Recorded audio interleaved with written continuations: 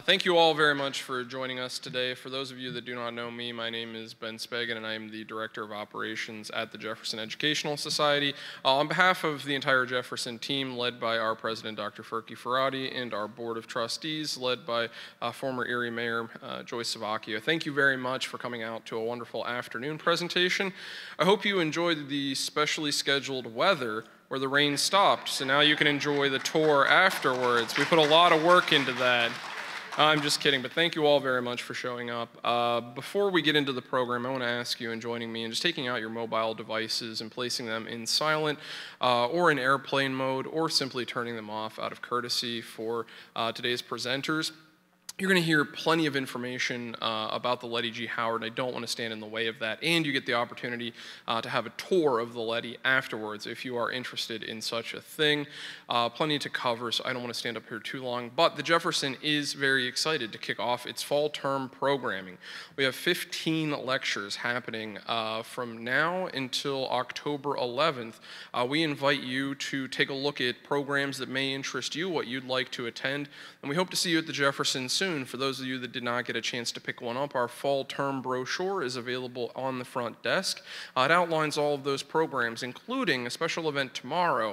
Uh, I find it's uh, apropos that today we're here in the library, and tomorrow we have an event about libraries. Uh, the executive director of uh, Erie County Public Libraries, Erin Winsek, along with her team, will be uh, at the Jefferson to talk about how libraries are breaking down barriers and building connections in the 21st century, a fascinating topic. Uh, like today's event, that is a free event. The Jefferson offers uh, more than 50% of its programming for free. Uh, we do ask for tomorrow, though, advance registration if you can. Why do I ask that of you? I'm glad you asked. At 6 p.m., we're actually hosting a little reception. Uh, so we'll have some food and some drinks and an ability for you to get to know the Jefferson team as well as those interested in Jefferson programming so that we can order a program appropriately, we do ask for those advanced registrations. Uh, also coming up at the Jefferson a little bit later, uh, starting on October 29th with a fantastic presentation from David Ignatius, uh, we are kicking off the Global Summit, uh, the hallmark of our programming every year. Uh, for more information about that, as well as how you can join the Jefferson as a member, please feel free to pick up one of the membership brochures uh, on your way out of the event. again, without the hard work of our entire team, events like today would not be possible, as well as the amazing partnerships we're able to form to give you events like today's. A big thanks to the flagship Niagara League, uh, as well as the uh, Maritime Museum uh, here in Erie for helping us put together this program. Uh, but I'd like to introduce a gentleman who will actually introduce the folks you'll hear from, somebody who's worked tirelessly on this program, and we are very happy to have as part of our team at the Jefferson Educational Society, uh, Mr. Pat Cuneo, our publications coordinator. So without further ado, please help me in issuing a warm welcome for Mr. Pat Cuneo.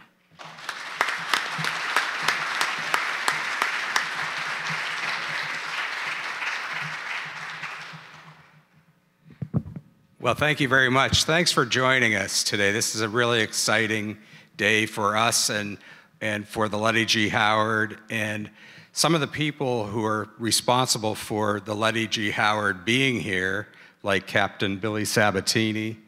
Um, you're going to have a chance to hear from them and their thoughts both about the ship and the great personal history story that Fred Langill has for us. But before we uh, begin with uh, introductions, I first wanted to thank you again for being here. And Fred has a terrific video, a very brief video, that puts us in the mood to uh, enjoy the program on the Howard. At latitude 42 degrees 37 minutes north, longitude 70 degrees 46 minutes west, there is a little village called Essex at the end of the Essex River on Cape Ann. It's evening now in Essex, known now more famously for its fried clams than its remarkable shipbuilding history. For once, not too long ago, this basin at the river's end was alive with the sound of wooden schooners being built in support of Cape Ann's famous fishing heritage. Common land was set aside by the parish in 1668 for a yard to build vessels and employing workmen for this end. Topographically, this area was perfect for shipbuilding. You, you built up a very distinctive uh, community of skilled artisans and not a few skilled artists in their, in their work who, uh, who built uh, uh, ships that were uniquely suited for the fisheries and uh, of a uniformly uh, high quality. The shipbuilders of Essex built the nation's speediest and most seaworthy fishing craft. The late Howard Chapelle, the 20th century's foremost authority on fishing schooners, wrote that these vessels were the finest fishing vessels in the world and were the pride of their owners and of the northeastern fishing ports from which they hailed.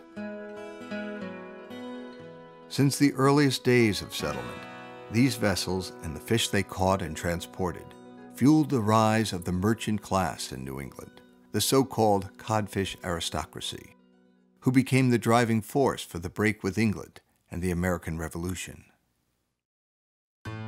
Ever honing and refining their technique, Essex shipbuilders created vessels for the country's rapid growth and advancing technology. At one time, shipbuilding technology was uh, one of the highest forms of, uh, of uh, construction technology. Later, in response to safety concerns, designs for Essex built vessels were altered to create more stable hulls without sacrificing speed. When the Essex shipbuilding industry ceased in 1949, nearly 4,000 vessels had been launched into the Essex River. These vessels employed thousands, fueling the economy of the region while they fed a growing nation. The Essex shipbuilding tradition is still alive and well through the efforts of the Essex Historical Society and Shipbuilding Museum. Mm, what do you picture when you think of the word museum? Um, can't touch anything. Stuff you can't touch. What else? Uh, something where you displays.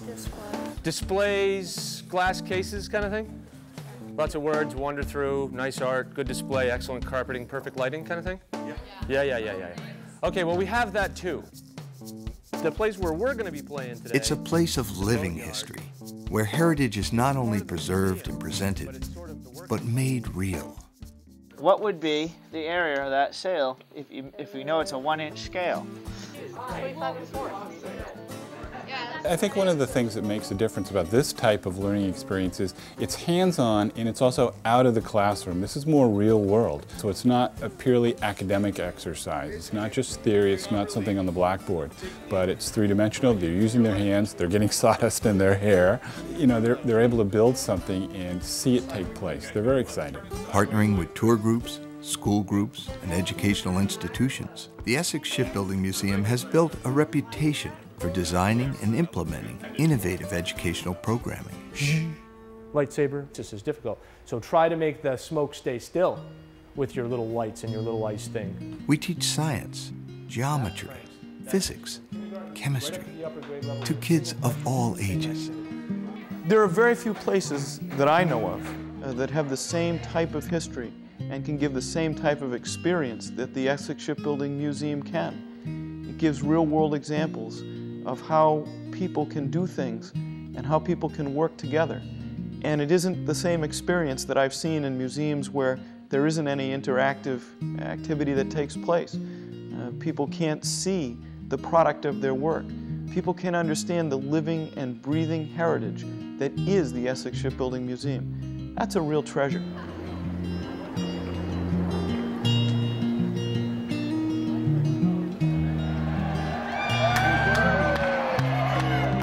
The Shipbuilding Museum is vibrant and alive. It's a catalyst for learning, where imagination takes hold, where history becomes real.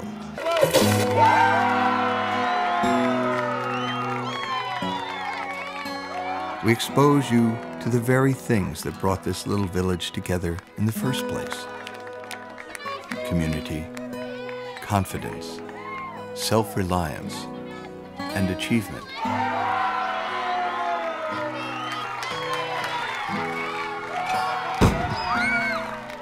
The Essex Historical Society and Shipbuilding Museum, bringing the history of shipbuilding alive, one person at a time.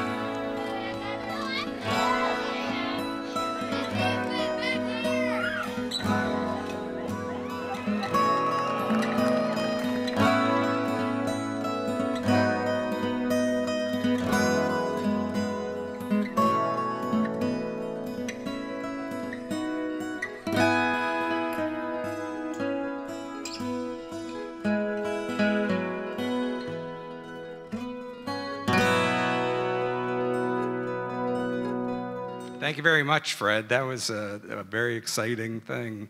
It reminds us of our own shipbuilding heritage here, and also we were the commercial fishing capital of the world at one time. Um, this, uh, uh, I think, is innate to all of our understanding of the lakeshore. It starts with our, our whole history as a lake port uh, city and as a, you know, a U.S. Navy center um, in the War of 1812. Um, one of the key people in uh, uh, Erie right now is not lost on everybody in the crowd, and that, that is Captain Billy Sabatini, who um, is unique in that he's a hands on man who has worked as not only the captain of the uh, Brig Niagara, is now uh, the top administrative head of, uh, of the flagship Niagara League as its executive director and as the fleet captain. So he oversees the Niagara, the uh, Lettie G. Howard, and he, he uh, is himself a Massachusetts man, which he could fill us in maybe about his own uh, life. The Lettie G. Howard is a two masted schooner. It's become quickly um, a real main site on our uh, Lake Erie shores and Presque Isle Bay. And from what uh, Captain Billy can tell us, it's already in its short time here, I think it launched in uh, June, was it? It's already been a, a, really big success. And it also plays um, a, a, key role in our own identity um, and, and serving a practical purpose so that when the uh, Brig Niagara is out of town, we're not left with, uh, without a ship. And, uh, but it's a, it's a beautiful and unique ship in its own right. And we would like uh, Captain Billy to tell us about it and its importance to Erie and to the Maritime Museum.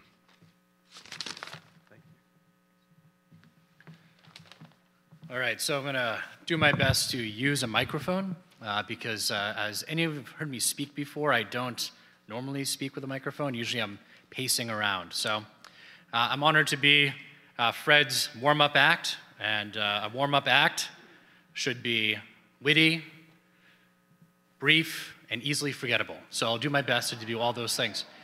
So, so my name is William Sabatini. I'm now the executive director and fleet captain of the the flagship Niagara League. Uh, my background is, is in ships. Uh, I started sailing when I was 13 years old on a schooner in Marion, Massachusetts, the Tabor Boy. I did that for all four years of high school.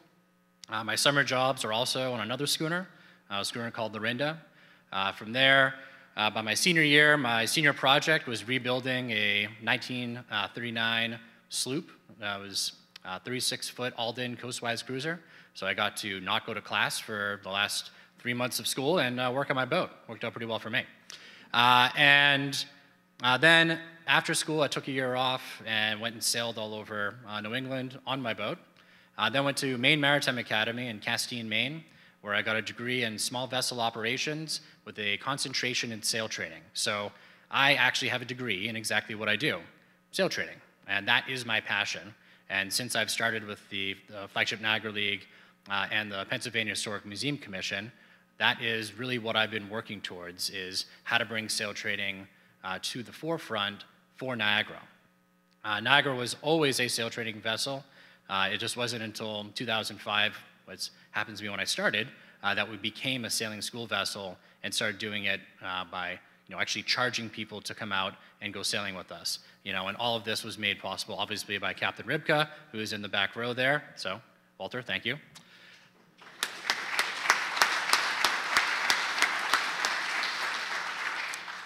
Uh, and in my time here, uh, it's been it's been pretty interesting. You know, going through that whole process of you know starting with a all volunteer uh, program to bringing on trainees. I started here as the third mate in 2005. Then they promoted me to second mate. I did that for two years in 06 and 07. Uh, and then I left, never to come back.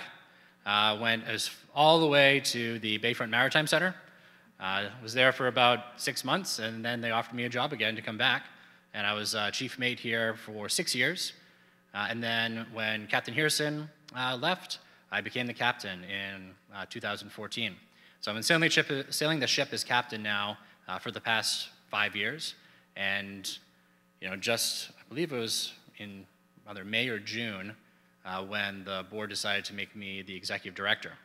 Uh, what I tell people is I really just started that job because I actually sailed for the first two months of my time as executive director. So I keep telling people I just started about six, seven weeks ago. Uh, and it's been an interesting role uh, to be the executive director and the fleet captain. So what fleet captain means is that the captains of the ships uh, actually work for me because uh, the every, all the crew are employees of the flagship Niagara League. Uh, Niagara, we still have our senior captain in Walter, uh, and uh, Lettie, I guess I become that, that role for Lettie. So in bringing Lettie to Erie, uh, that process started 10 years ago. Uh, it started when Captain Rybka decided it was time for another ship, uh, and he uh, did what he does best. He started writing about it and tried to convince people that it was a good idea. And over the course of the next, you know, nearly you know, 10 years, uh, as things happen. Nothing ever happens quickly. So we convinced all the people we needed to convince. We got the permissions that we needed to get. And finally, after going from ship to ship to ship, uh, we started the process of looking for a ship uh, in earnest in the winter of uh, 2014. And it took us that long to find the right ship, the right program, the right people to partner with, and we ended up with Lettie G. Howard. The so Lettie G. Howard is owned by South Street Seaport Museum and has been there for 50 years now. Uh, they took on the complete rebuild of that ship uh, back in 93 uh, for the centennial of Lettie G. Howard. Uh, and they were in a situation where uh, they didn't have a lot of programming set up for Lettie at the time. Uh, and they were, they were focusing on other things at South Street that it worked out well that they could allow us to use their vessel uh, through this programmatic collaboration.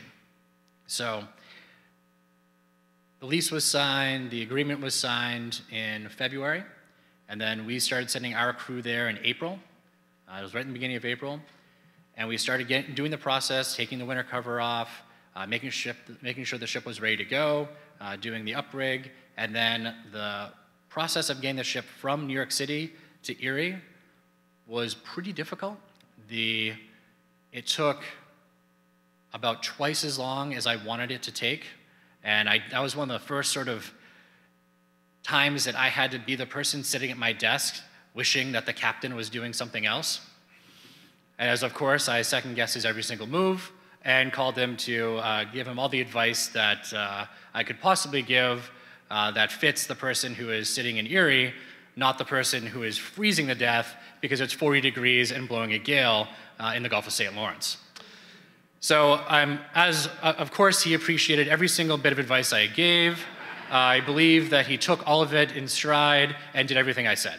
So, uh, just don't ask him if that's really what happened. So, uh, so we, we got the ship here. Uh, the hope was to have the ship before Memorial Day, but didn't work out. the ship actually arrived the day after Mariners Ball, and we had a great big, great party two nights in a row because of that. So that was a good time. Uh, and then uh, we took about two weeks to get the, the certificate of inspection from the US Coast Guard. So what that is, that document is the, the piece of paper that allows us to take passengers out. Up to this point, Lettie did not have a passenger vessel COI. What she had was a sail training COI, uh, SSV, uh, sailing school vessel. And we wanted to have a passenger vessel. So we went through that whole process. Uh, it was also an arduous process, but we had the inspection, it was done, and on June 14th, we did our first sail uh, with passengers on board. Uh, we took out our, some of our board members, uh, some of the people that made it possible to get the ship here. Uh, and then uh, the next morning, we had our first passengers on the ship. it was a program we did through Sea Grant. And ever since, the ship has sailed, I think, every single day except for there was one day in Port Colborne, two days in Port Colborne, she didn't sail. But she sailed every single day since. It's over 250, We'll probably be over 300 sails by the end of September. Currently, we're at about 5,000 passengers total. We had 82 uh, campers, because we also started up a tall ship summer camp. because even though we brought Lettie here to be a passenger vessel to really expand the offerings of the Erie Maritime Museum and give the people of Erie something new and interesting to do, a way for them to connect to the bayfront, I'm a sail trainer, so I wanted to do a sail training program. So we created the Tall Ship Summer Camp as a way to expand our sail training program to a younger demographic. On Niagara, you have to be 14 to be a trainee. Well, for the Tall Ship Summer Camp, you have to be 10. And uh, we spent the entire summer kind of going through that process, figuring out what that meant. Uh, Marcus is over there. He can tell you uh, just how interesting uh, and or challenging. Those are definitely the words you would use, right? Okay, good. Uh, and to create a whole new program like that is something we hadn't done before. Uh, so that program went very well. the feedback came back that we did a good job, so well done, Marcus. And so yeah, created the sail training program, and in all, so we have 82 of them, over 5,000 passengers, and a thousand of those passengers are going to be fifth graders, because we're taking every single fifth grader in the city of Erie out sailing on Lettie. So for the past couple of years, and we started this in 2009, uh, in Niagara, we take all the eighth graders out. So when you have uh, all of the eighth graders in the city of Erie going on Niagara, well, what's the best primer for that?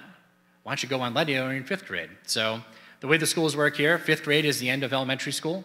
So on your last year of elementary, you go out sailing on a ship because Erie is a maritime city. Well, when you're done with middle school, you should probably go sailing on a ship again. That's eighth grade. So through taking all of these middle school or elementary and middle school students sailing, we're helping to reconnect who we are as a community. Because although I'm not from Erie, I, I do feel I am a part of this community now. I've been here now for almost 15 years, and I do love it here. But this is our community, and we are a maritime based community. This, this whole city was started because of the proximity to the water and because of Presque Isle Bay. So, by reconnecting our elementary students, our middle school students to that maritime heritage, it gives us identity. It describes what that sense of place is and how we can take that pride of everything that this city is. And I want people to look at Erie from the water looking up. Because when you do that, it changes how you think about the city. When you're always looking down, all you're seeing is big body of water, you know, maybe I go to the beach. But when you're on the water looking back up, you see why people wanted to come here, why it's a perfect harbor, and why they wanted to build everything based off of that. So it's a good way to get a good sense of who we are as a community. So the, the next step with Lettie is we're taking her south. Uh, we're going to be leaving on September 30th. And by we, I mean Goldie, Captain Goldman. Uh, he'll be taking the ship down uh, south. Uh, we're heading to Maine first for uh, dry docking. Then from Maine, going down to New York City to go back to South Street for a week so that uh, Lettie can go hang out with her friends. Then from there, we're heading down to Charleston. Where we're going to be doing a maintenance period. Then on to Miami. And in Miami, we start uh, a program that's gonna, hopefully going to be working out. I hope the, the Mercyhurst people are definitely going to sign this. But we're looking to do a program with Mercyhurst starting on January 2nd uh, hopefully going out to the Bahamas for about 10 days. Uh, and then we're working with Tall Ships Portland. They're interested in doing some programming with us. We've talked to the Boy Scouts, the Girl Scouts, and it looks like we have lined up a bunch of different programming for Lettie uh, for, to get things going. We're also going to be looking at going into different cities, different school districts, and staying there until they run out of students for us to go sailing with. So the way that's going to work, we come in, we do day sails, we do week-long programs, we do weekend programs, uh, and help other communities reconnect with their waterfront. Our destination is going to be Pensacola, and Lettie sailed out of Pensacola for 60 years. And she was actually fishing for red snapper at that time. So we get to go back to where the ship was sailing, and then from there we work our way back up in the opposite uh, way, go back to Miami, back to Charleston, back to New York so she can hang out with her friends again, then up to Maine, and eventually back here to Erie. We should be back here on June 1st for Mariners Ball. The idea is to actually be here for Mariners Ball this time, not the day after. And, and go about through this whole thing again. We're already gonna, getting things started on uh, talking about what's going to happen for Tall Ship Summer Camp. Uh, we're going to be lining up the private sails and in the public sails uh, going. And when, I, when we first started this whole thing, uh, it was on the news talking about what this means to Erie. And you just heard me talk about the maritime heritage and all that. But I also said this only works if the community wants it to work and wants to be a part of it. What I said was you have to come down, you have to go sailing in this ship and actually experience it. Because if we don't, it doesn't happen. And I can tell you, people came down and people have had a great time going sailing on their bay. And a lot of people from Pittsburgh, Cleveland, Buffalo, really all over have been coming in and going sailing on Lettie. Uh, so it's been a, a, pretty good success so far, and we're looking forward to keeping it going uh, in the years to come. We definitely have the ship coming back next summer, uh, and then after that, uh, we have an option uh, to go to five years uh, if both us and South Seaport want to continue this pro programmatic collaboration. So I'm hoping it continues. I'm also very excited to hear Fred's story because as it was pointed out to me, when I speak, usually it's most of the same stuff. So if you heard me speak before, uh, I'm always talking about sail training, I'm always talking about sailing, I'm always talking about the bayfront. Uh, what Fred is going to be talking about is a truly unique story. Uh, it's a story of a family and how that family connection going over over 100 years and how all that story tied Fred back into the flagship Niagara League through Lettie G. Howard and his grandfather. So that's a real interesting story. So hopefully I was witty enough, hopefully I was brief enough, and hopefully you forget everything I say. Thank you.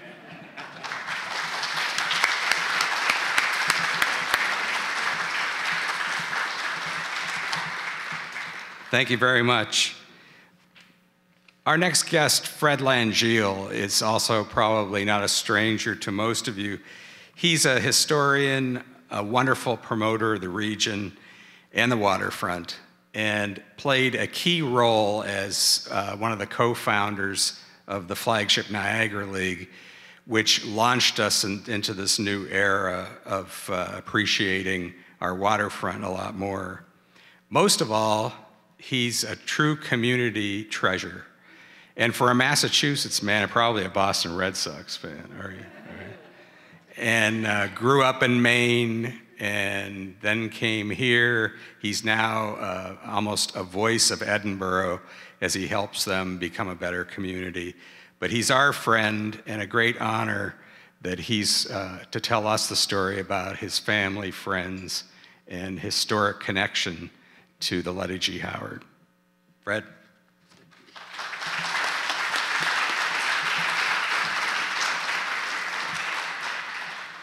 This is amazing. Somebody actually asked me to talk for 20 minutes. Usually they uh, go away. I moved here in 1980 through the benefit of having been invited into the life of Bonnie Borland from Edinboro, Pennsylvania. We met through, we met through coincidence. And our life spent together for 35 years.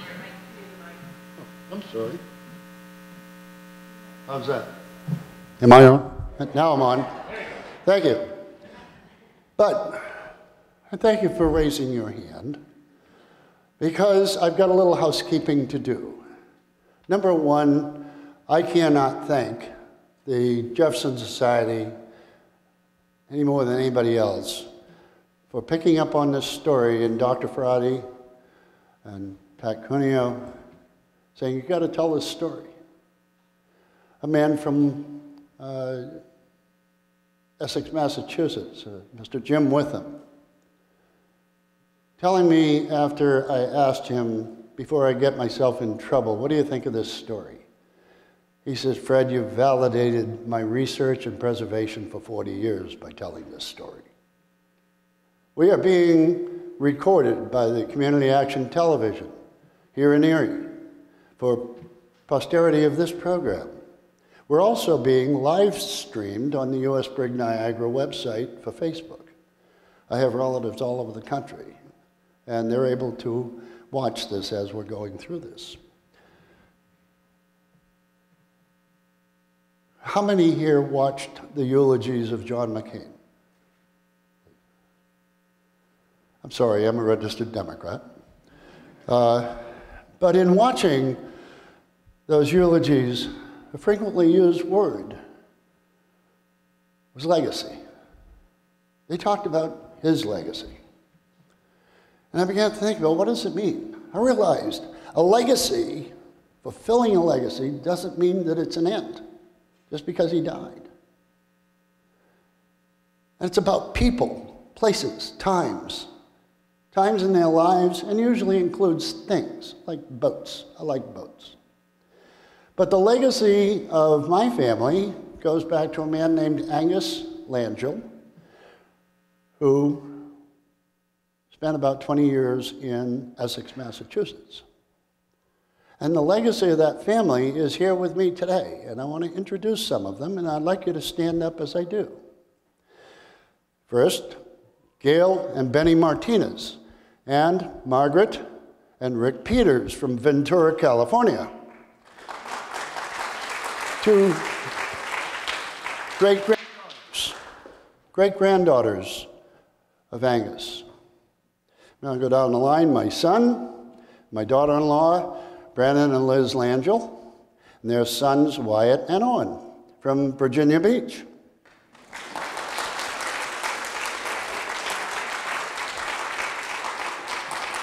Going further, my daughter and her husband Brian Rushing from Edinboro.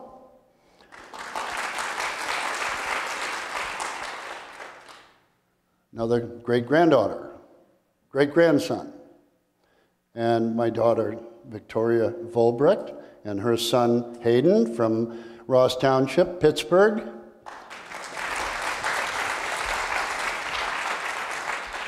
Great great grandson of Angus. My sister Margaret and her son Craig from Goffstown, New Hampshire.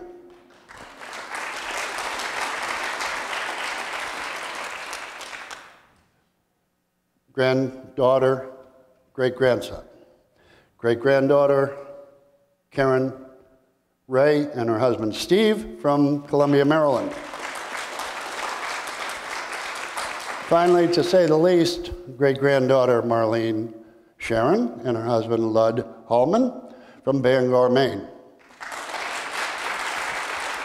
These are the connections of the history of the Lettie G. Howard. These are the legacy people of the Lettie G. Howard. The legacy is being carried on in the lives of these families. I have another grandson and son-in-law, Eric Volbrecht and Ryan, who did not, were not able to come today.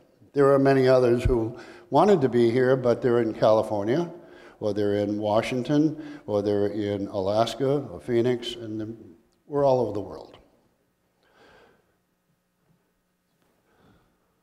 Lose it again? Okay. I looked up, I'm not a professional speaker. I looked up keynote speaker etiquette. It says you're supposed to be humorous about something. I thought, I thought it was humorous that it was amazing somebody asked me to speak for 20 minutes. Get him to talk, get him to shut up for 20 minutes. And in big biblical history, says Jesus sent his disciples back to the eastern shore of the Sea of Galilee by ship. He stayed behind to pray. The ship was caught in a storm. And after rowing all night, they saw him walking on the sea. They got scared. They thought they were seeing a spirit. He told them, Don't be afraid. He got on the ship. The wind died. They got to land safely. Who built the ship? Who built the ship? What about Columbus? Who built the ship? The Mayflower. Who built the ship?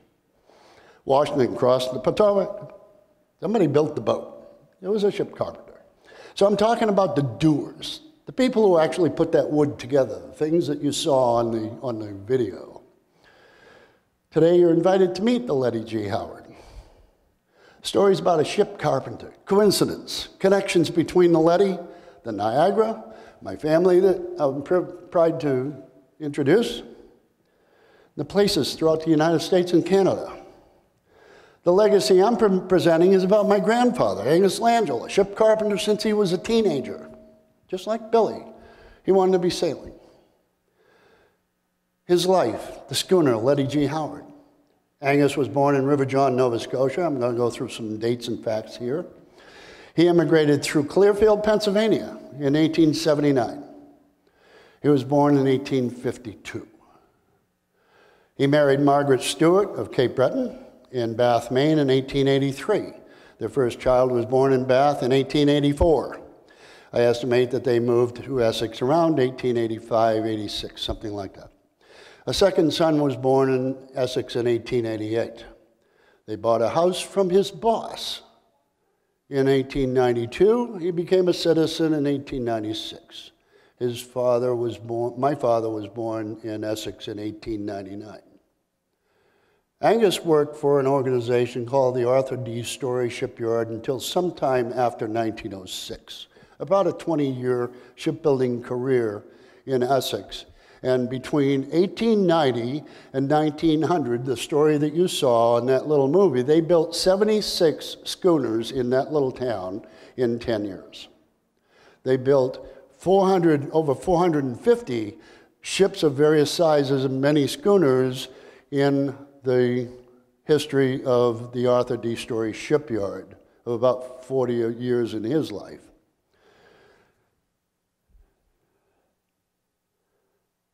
I didn't know Angus. I didn't know his story. All the family have come from all over the United States to hear this story and be on the Lettie and touch the Lettie. None of them knew it either. Angus was too old. He died in 1942, before I was even born.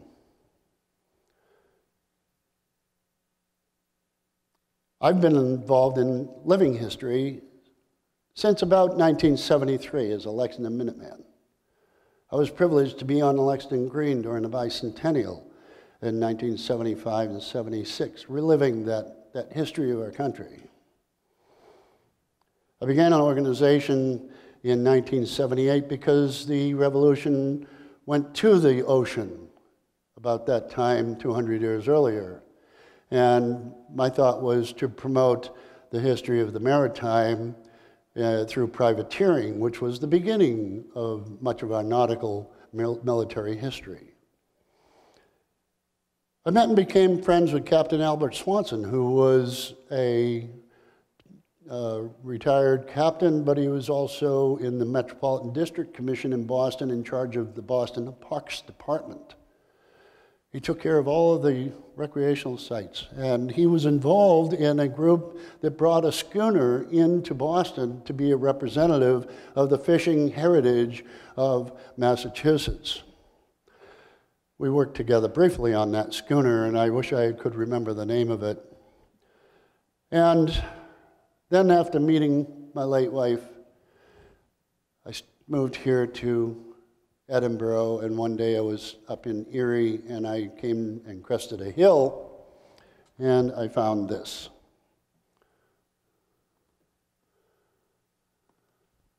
Here's the Brig Niagara 38 years ago, 40 years ago, sitting in a cement cradle over on State Street and rotting away. I'm a Navy veteran. I was offended, and I said, Who owns this? And I found out it was the Commonwealth of Pennsylvania. And my idea is, well, okay, let's build a new ship. And that was my introduction to the community of being told, in some respect, that it won't work. It'll never happen.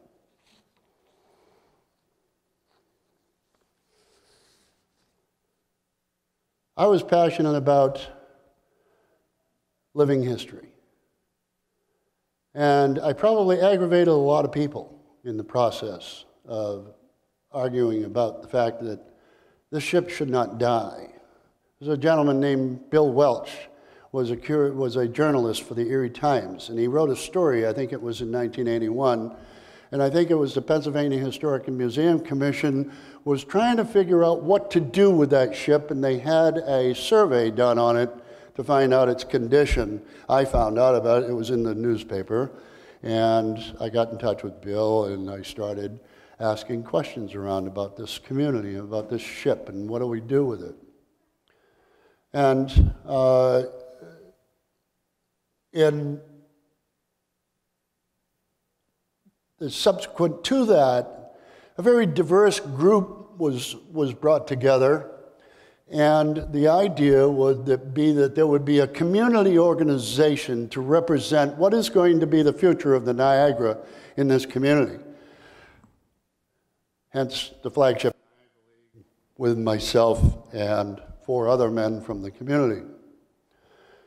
We were enthusiastic. We pushed it, we pushed it, we pushed it. We argued with PHMC.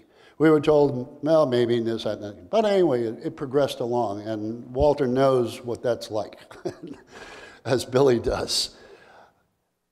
It's, it's, it's amazing what we've come to today, to have what we have today almost 30 years later. And I'd like a round of applause to Walter Rybka because he was her first captain. And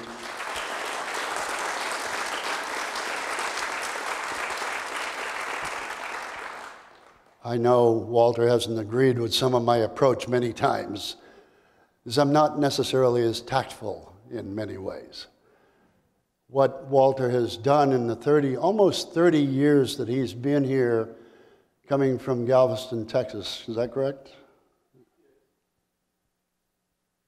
In the, he, he, he worked on a ship called the Elissa in Galveston. It was going to be scrapped, and he turned that around into another historical vessel in our, in our nation.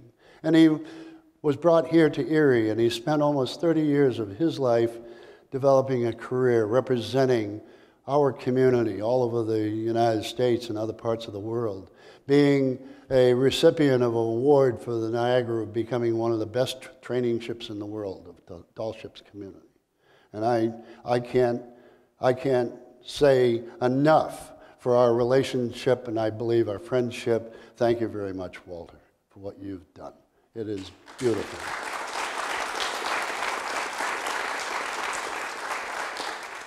In 1990, I decided to find my grandparents' graves. And while driving into Essex, though I'm a man, I stopped to ask for directions. That's all I needed, but it was at a boat shop. That's all I needed, it was a boat shop. I had no more than gotten my name out. I reached out to the owner of the boat shop and I said, Hi, I'm Fred Langill. And he says, Your grandfather worked for my grandfather. And there's two books over there written by Dana Story. He was the grandson of Dana Story. This was in 1990. My grandfather had been dead for 48 years. I didn't know him. Thank you very much, Mr. Story. I appreciate that. Yeah, right. Yeah, off I went. So, on February 1st, Billy and the Niagara League and Walter and the others had a press release. And as co founder of the league, even though I had been idle in my activity, I was caught up in other things that I just could not deal with that. I was suffering from cabin fever in February in Edinboro, Pennsylvania, in the snow belt. I got nosy, and I came up I went to the announcement and learned about the Lettie G. Howard coming here, and they referred to it being built in Essex, Massachusetts in 1893. Well, silly. My grandfather and my father was born in Essex. My father was born there. My grandfather, I, I heard he worked there. I didn't know about it, but all of a sudden it brought back that story about 18, about 1990. Your grandfather worked for my grandfather. So what happens? I contacted the Gloucester Maritime Museum and the Essex Maritime Museum was closed for the winter. This is March. And uh, Mr. Harold Burnham, another prominent name in maritime history, directed me to Jim Witham, curator of the Essex Historical Society. Jim told me a story. Uh, I told Jim my story, and he allowed me to come out and go through the archives dating back into the 1800s of uh, the Essex Shipbuilding Museum. And lo and behold, as we researched, and it wasn't easy to find, but Jim came up with a book. And this book is a payroll book, handwritten, covers 10 years of the ships being built in Essex, Massachusetts, and up on the top is the Howard. That's the job name. And down in this line of about 30 shipbuilders is my grandfather.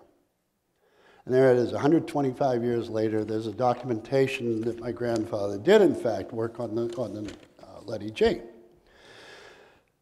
So, one of the other things was before I got myself in trouble with Dr. Ferati, Pat Cuneo, in July, I went back out to do some more research. I sat and I said, Jim, be honest, what do you think about this story before I go tripping over my mouth?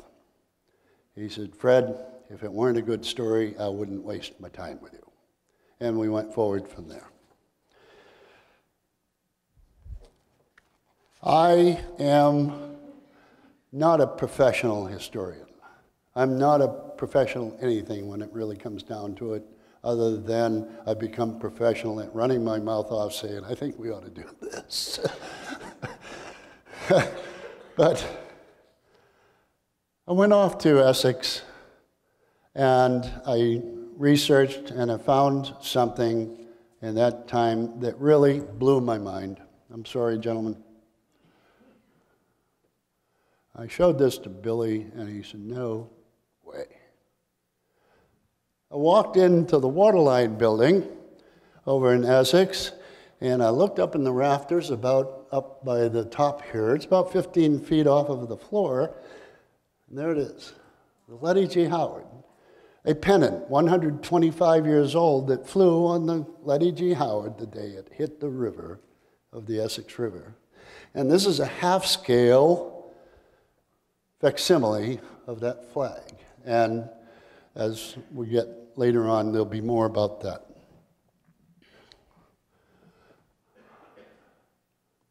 This happens to be my grandson Hayden, that you met a little while ago, steering the Lettie. And here's some of what it looked like when they said frame up in Essex. The whole crew got together and helped put the wood in place. Because look at the, look at the size and dimensions relative to a man's size. There's the Niagara I found when I moved here. Here's the Niagara today. Here's from the original plans, the Lettie G. Howard out of the archives of Essex. 127 year old prince, just laying there in a box. And as Billy pointed out, the Lettie left New York in May 1st, I think, something like that.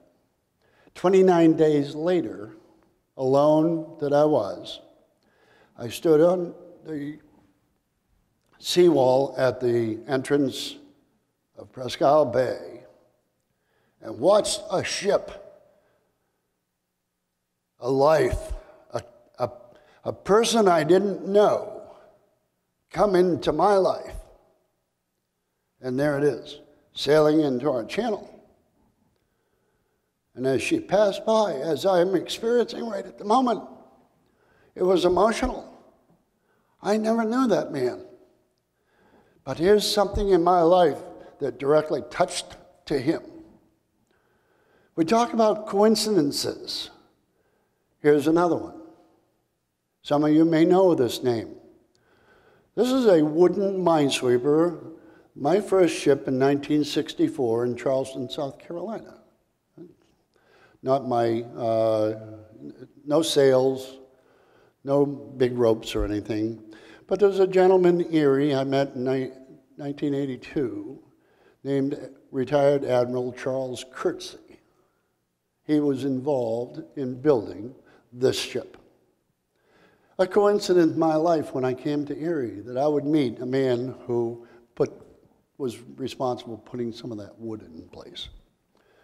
And uh, oops, how'd that one get in there? That's my boat. and if you notice, look at the name. It's a gift of time. Stop and think of what we have in our lives. It's a gift, and it's all time.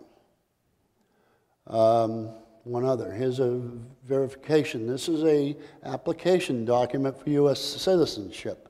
But about halfway down, it shows in November of 1879 when my grandfather emigrated into the United States to, to go to work. And he ended up going to Bath, Maine to do that to start.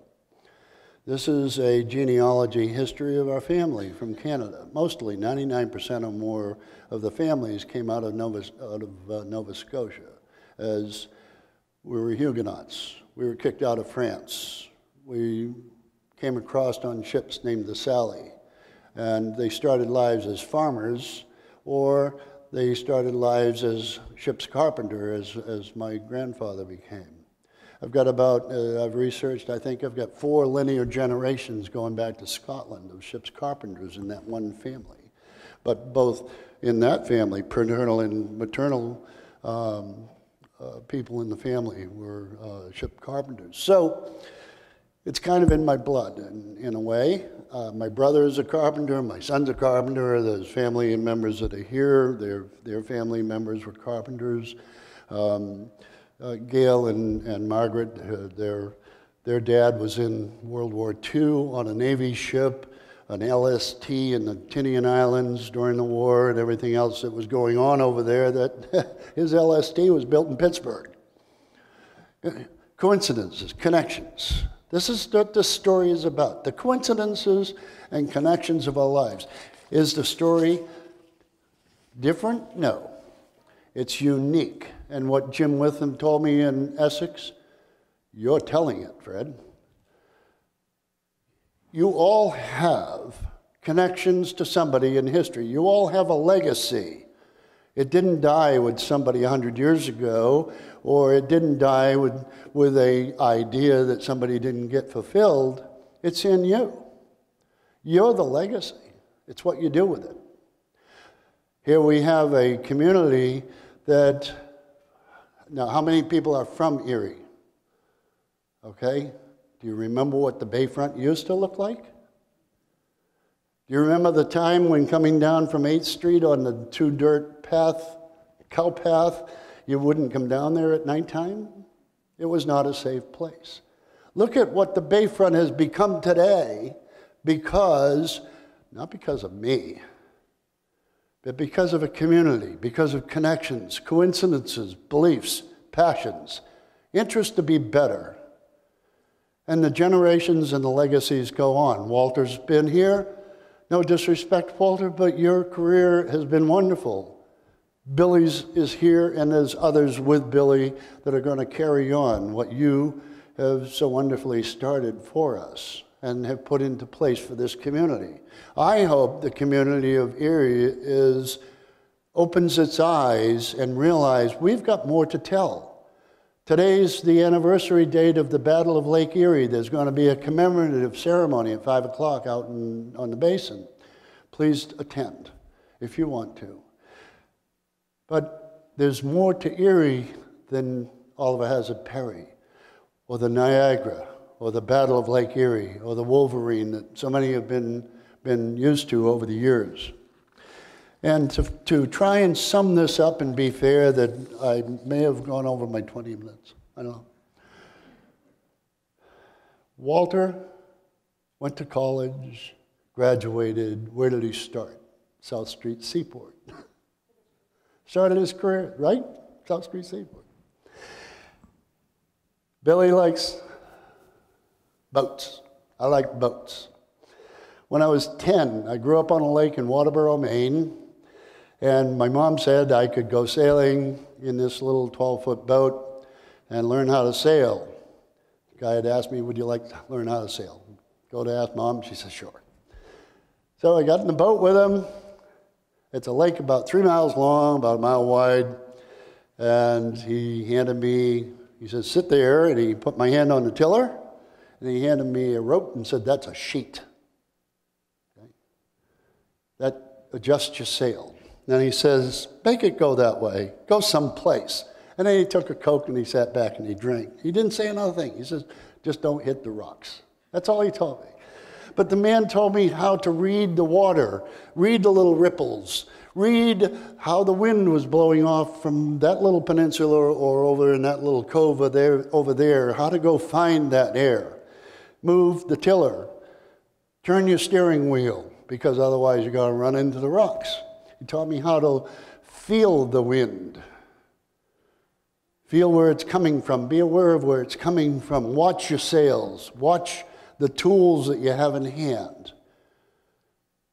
And I think I didn't become a professional sailor like Billy or Walter, but I've sailed the worst, second worst storm on Lake Erie in tornadoes that came up from Detroit and Toledo. I was out there in the middle of it on a 38 foot boat. It was, it was, it was a ride. My thanks to Captain Billy Sabatini for bringing an additional and expanded vision and management to the Niagara and the Niagara League. I hope his years in Erie and conviction and to the interpretation of our maritime history will be here for many more. You've set a, you, Walter, you've, you've set a high standard. You've, you've, you've put a challenge out to Billy, no question about it.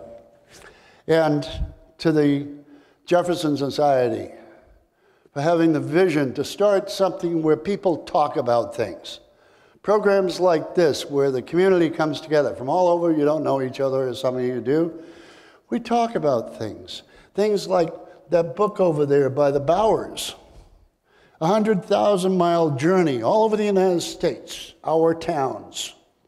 What's the last town in the book? Erie, Pennsylvania. Talking about the amazing social integration the international integration of people coming from places all over the world to Erie, Pennsylvania to try and live and have a life. So I appreciate the opportunity from that. For the flagship Niagara League, in being our host and taking my family from all over the United States, sailing on a ship yesterday that they had never seen before, no different than I when it first sailed into the channel. And yesterday, in the rain, sailing on the Niagara for four hours out in the rain and the wind, learning what it was like without engines and strictly hands and manpower, woman power, to maneuver that ship in the tight confines of the bay. Finally, the staff of the ship store, the Niagara, the Lettie, the museum, Thank you. And most importantly, I want to thank Cat TV for documenting this hour-ish and helping getting it out to some of the people all over the United States that couldn't be here. I want to thank my family for being here, putting up with me talking again. so, that having been said, I want to close about this story Meet the schooner, the Lettie G. Howard, built in 1893 in Essex, Massachusetts, at the Arthur D. Story Shipyard. A ship carpenter, Angus Langill. His life and family, we're his legacy. Coincidences and connections that go between Erie and bear with me for a moment Pictures taken by my sister Margaret of Bath, Maine, where the Niagara was in. Going back to 1982, pictures of the USS Constitution members being here for what we called the first Perry Day ceremony in 1993. Uh, um, yeah, uh, no, 1983. The co connections between Boston and, and Erie are solid. And then here in 1993, here are tall ships from all over the world sailing into our community in Erie and coming here. It's, it's been an amazing experience. And here in Pennsylvania Heritage is Walter Rybka's story. and all of the things that he's done. Coincidences and connections. People, places, times, and things. That is history. But it's the people who fulfill the legacy. Thank you.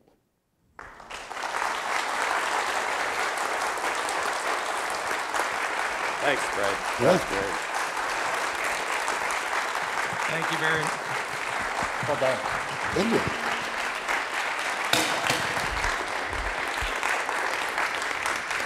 Fred, Fred, I think you need to shut yours off, maybe. For this-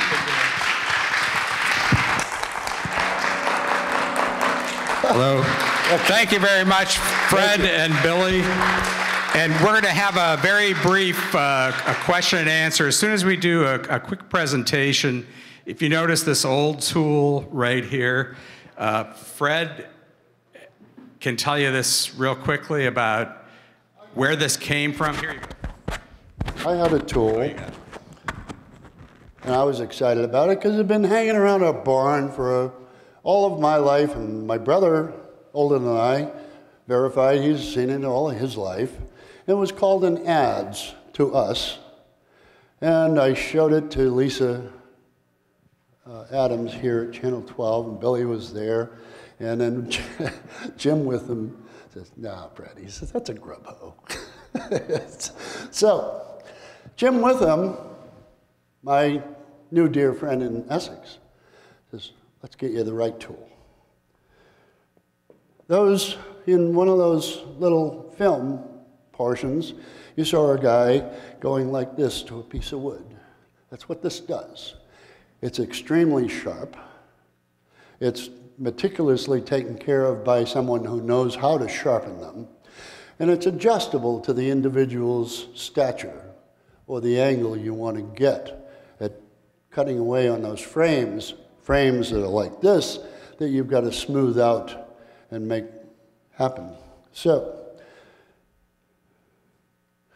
through Billy, presented to the schooner, Lettie G. Howard, built in Essex, Massachusetts in 1893, in honor of Angus Langill, 1852 to 1942 the shipbuilders of the Arthur D. Story Shipyard in Essex, Massachusetts, from the Essex Shipbuilding Museum and Historical Society, and the descendants of Angus Langill.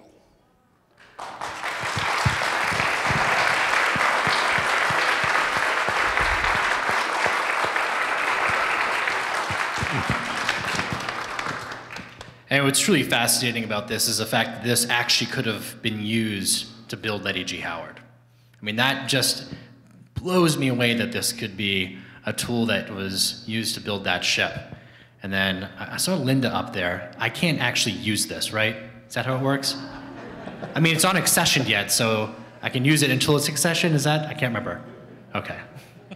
Thank you so much, Fred. This really is amazing, and this will stay with Lettie. Uh, even past when uh, the flagship Niagara League is using Lettie G. Howard, uh, this will stay with the ship. Thank you. Welcome. And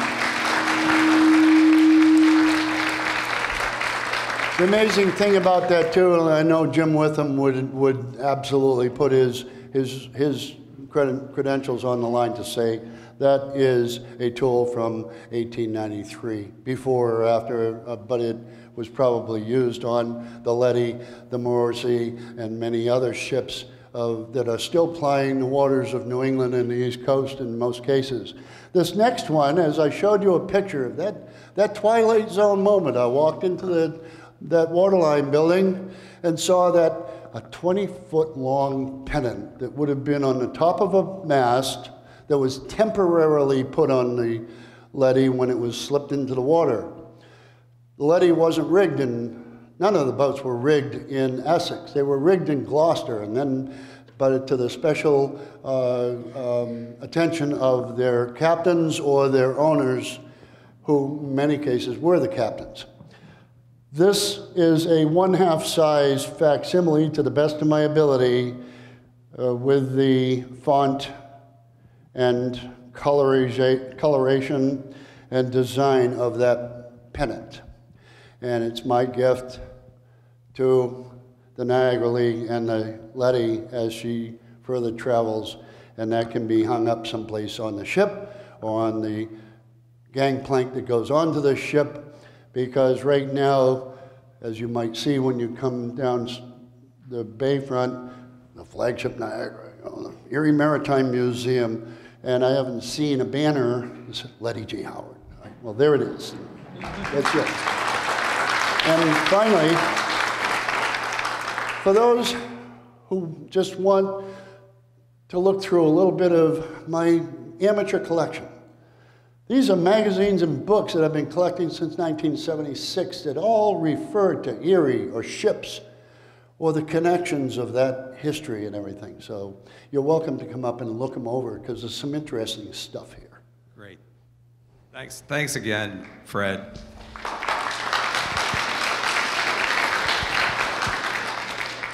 In our audience are uh, Jeannie Baker and Donna Wood with uh, microphones in case you'd like to. We're going to run a real brief uh, Q&A. And I'll, I'll kick it off myself by asking uh, Captain Sabatini, what's, what's it like to sail? What's unique about the Lettie Howard, say, compared to the Niagara or any other uh, ship? So in my, my brief time sailing Lettie, one thing I've noticed about her is how smooth she is. The way she just cuts through the water is truly amazing. Uh, I got to go sailing on Lettie uh, just a couple weeks ago. Uh, I had a friend in town, and I said, "Why you, let's go sailing." And we went out there, and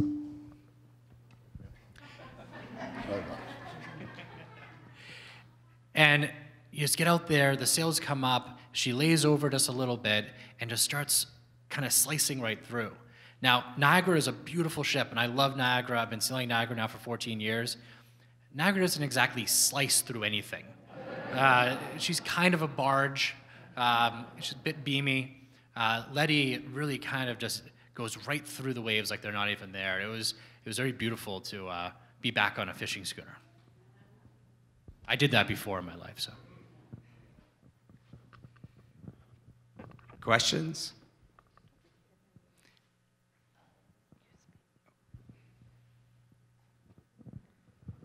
A question for the captain. Um, as with everything, there are financial considerations with bringing a ship like this here, and I was curious to know, given the uh, public input and the people coming out for the sails, if uh, you're meeting expectations.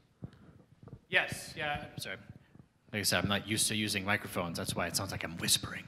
Uh, yeah, we're, we're meeting expectations. Uh, things are going well. Uh, I'm very happy uh, with the performance of, of the ship and the amount of people that have been coming down and sailing. Uh, it's going well enough that uh, we are doing it next year.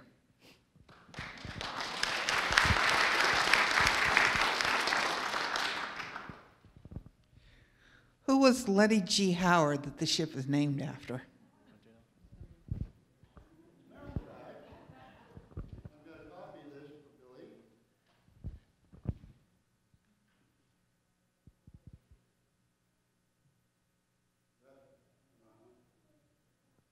The, the Lettie G. Howard was commissioned by Captain Frederick Howard of Danvers, Massachusetts, and it was named after a daughter, Lettie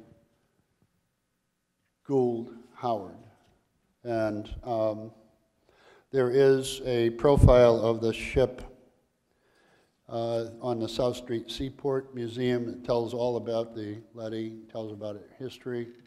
And one of the things that, again, is coincidental was, was that I was provided from Essex a document of about 50 pages of researching the name of what was at one time considered a vessel named the Mystic Sea or the Caviar.